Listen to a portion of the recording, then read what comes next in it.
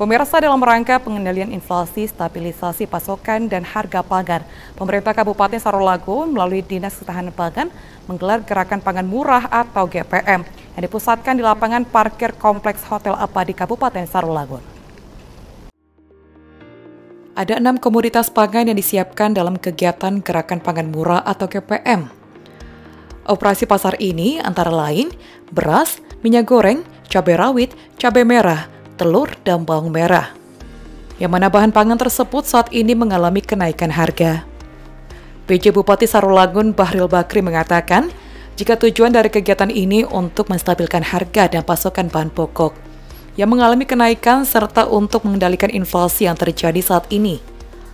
Maka kegiatan hari ini untuk menstabilkan harga pangan yang mengalami kenaikan secara signifikan sehingga dapat kembali ke harga sebelumnya.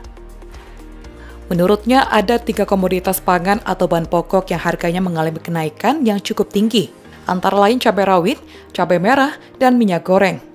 Selain itu, harga mie keriting instan minggu lalu juga mengalami kenaikan. Adapun kenaikan tersebut dikarenakan daya beli yang cukup tinggi, serta pasca banjir beberapa waktu lalu, yang membuat panen pada petani banyak mengalami kegagalan atau tidak maksimal. Melakukan gerakan pangan murah untuk uh, komoditas yang tingkat uh, pertemuan harganya tinggi ya. Data kita terakhir pada hari ini kita ada tiga komoditas yang memberi perkembangan pertemuan harga tinggi. Pertama adalah cabai rawit, kedua adalah minyak curah, ketiga adalah cabai merah. Dan ada sedikit yang juga menjadi penyumbang perubahan perkembangan harga yang cukup uh, tinggi juga di minggu lalu adalah minyak uh, mie goreng instan gitu, mie keriting instan. Jadi hari ini kita Pemda melakukan gerakan pangan murah untuk menstabilkan harga kembali agar uh, bisa uh, sesuai dengan harga yang berlaku sebelumnya gitu.